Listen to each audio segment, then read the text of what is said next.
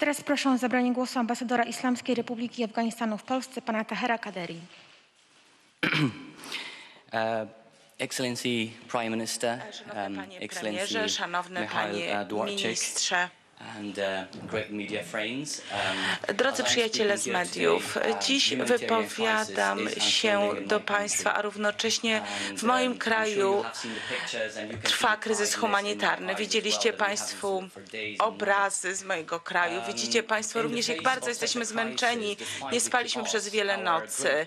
Niezależnie od tego kryzysu, nasz wspaniały partner Polska in 2000 after 2001. stała ramię w ramię z nami, z Afganistanem. Od roku 2021. 2001 wspierali Afganistan i teraz w roku 2021 nie zostawili nas bez pomocy. W roku 2001 po upadku reżimu e, talibów Polska zaangażowała się w misję stabilizacyjną w Afganistanie, zostawiając wspaniałe dziedzictwo również w sercu obywateli Afganistanu.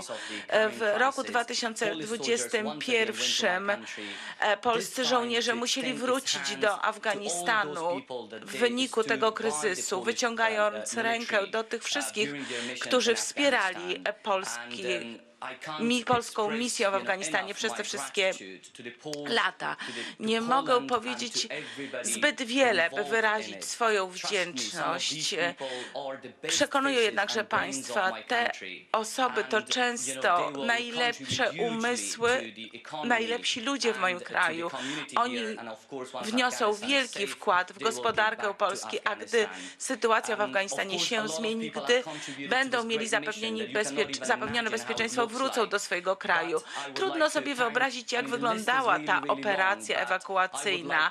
Chciałbym podziękować wielu osobom. Nie wszystkich będę w stanie wymienić, ale przede wszystkim panu premierowi, panu ministrowi Dworczykowi oraz panu prezydentowi Polski, wszystkim tym wspaniałym osobom, które 24 osoby na dobę pracowali.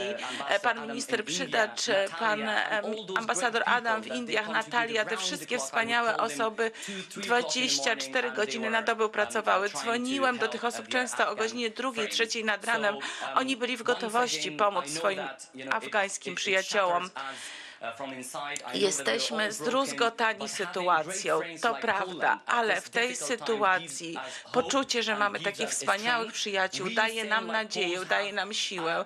Jesteśmy przekonani, że Polacy są częścią naszego DNA. My nigdy nie poddamy się tyranii, tyranii nam narzuconej. To jest ta część dziedzictwa e, polskiej misji w Afganistanie.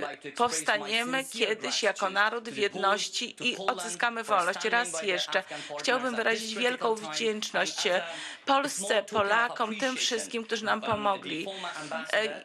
Jako drobne podziękowanie pan Haider i był ambasador e, w Polsce i ja napisaliśmy list otwarty do Polski i Polaków. Chciałbym przekazać to pismo panu premierowi. E, W piśmie tym wyrażamy głębię naszej wdzięczności wobec Polski i Polaków. Panie premierze, na pana ręce przekazuję ten list.